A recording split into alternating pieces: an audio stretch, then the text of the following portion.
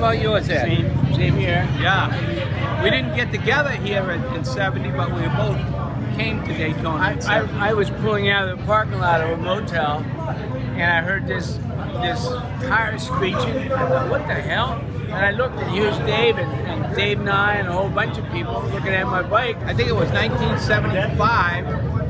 I talked Alan into coming. I said, "Hey, you guys should come to Daytona. Really, you never been there." So Barry Cooney came.